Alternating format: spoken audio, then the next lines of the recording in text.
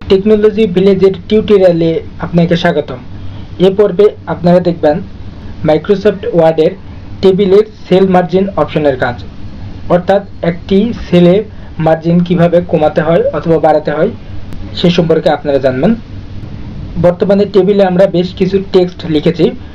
এই টেক্সটের দেখুন, একটি সেলে বর্তমানে যে রেজাল্ট যে টেক্সট রয়েছে, এই সেলের দেখুন, বাম দিকে একটু স্পেস রয়েছে, আবার উপরে, নিচে কোনো স্পেস নেই। আমরা এই উপরের নিচে স্পেসটা যদি বাড়াই দিতে চাই, আমাদের এই টেবিলের প্রত্যেকটি সেলের উপর নিচে যদি স্পেস বাড়াই দিতে চাই, কীভাবে দেবো দেখুন? এইখানে অ্যালাইনমেন্ট যে সেকশন রয়েছে এখানে সেল মার্জিন বাটন রয়েছে, এটাতে আমরা ক্লিক করলাম। ক্লিক করার পর দেখুন, এইখানে টেবিল অপশন নামে একটি ডায়ালগ বক্স আসছে।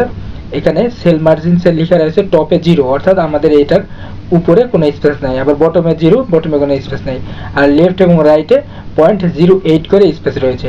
আমি যদি এখানে ক্লিক করে করে আমার টপ এবং বটমে বটমে আমি পয়েন্ট জিরো ফাইভ করে দিলাম, ওকেতে ক্লিক করলাম, তাহলে দেখুন আমার বর্তমানে সেলের উপরে এবং নিচে পয়েন্ট জিরো ফাইভ করে স্পেস এসেছে।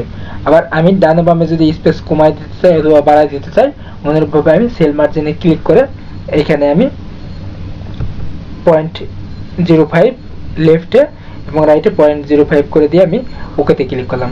তাহলে আমাদের বর্তমানে ডানে এবং বামে স্পেস কমে গেছে। এখন আপনারা দেখবেন অটো ফিট অপশনের কাজ।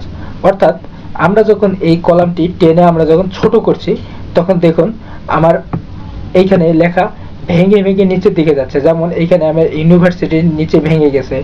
আবার আমি যদি এটা ছোট করে দিই, দেখুন, এই প্রত্যেকটা ইউনিভার্সিটি লেখা ভেঙে নিচে চলে গেছে। কিন্তু আমার এই টেক্সটটি যতটুকু রয়েছে, আমার কলামের মাপটি ততটুকুই হবে, এটা ভেঙে যাবে না। এটি করার জন্য আমার এই পুরো টেবিলটা আমি সিলেক্ট করলাম। করার পরে এখানে সেল মার্জিনসে ক্লিক করলাম। করার পর দেখুন, এখানে অপশনস নামে একটি বিষয় রয়েছে। তারপরে চেক বক্স রয়েছে। তার পাশে লেখা রয়েছে automatically resize to fit content অর্থাৎ কন্টেন্ট অনুযায়ী সে রিসাইজ করে নেবে।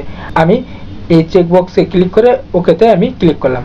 তাহলে দেখুন, আমার টেবিলের বর্তমানে এইখানে যতটুকু টেক্সট সেই টেক্সট অনুযায়ী আমার এই কলামের সাইজটা হয়েছে। অর্থাৎ আমার কোনো টেক্সট নিচের দিকে ভেঙে যায় নাই। এইভাবে আমরা কলামের সাইজ অটোমেটিক্যালি ফিট করতে পারি। তারপরে দেখুন আমাদের এই প্রত্যেকটি যে সেল রয়েছে, এই সেলের পরে যদি আমরা কোনো মানে সেলের চারিদিকে কোনো একটা স্পেস দিতে চাই এবং তারপরে আমি আরেকটি সেল যদি শো করাতে চাই, আমি আমার টেবিলটি সিলেক্ট করলাম। করার পর এইখানে দেখুন সেল মার্জিনসে ক্লিক করলাম। করার পর allow spacing between cells point zero one এখানে দেওয়া রয়েছে, আমরা ওকেতে ক্লিক করলাম। তাহলে দেখুন আমার প্রত্যেকটি সেলের চারপাশে একটি করে স্পেস এসেছে এবং তারপরে আরেকটি সেল শো করছে। এটি বোঝার জন্য আমি এটার পরিমাণটা একটু বাড়াই দিচ্ছি। আমি পয়েন্ট জিরো থ্রি করে দিলাম। ওকেতে ক্লিক করলাম। দেখুন, আমার এই যে, এই দুইটি সেলের যে লাস্টে যে বর্ডার রয়েছে বর্ডারের মাঝে একটু করে স্পেস রয়েছে।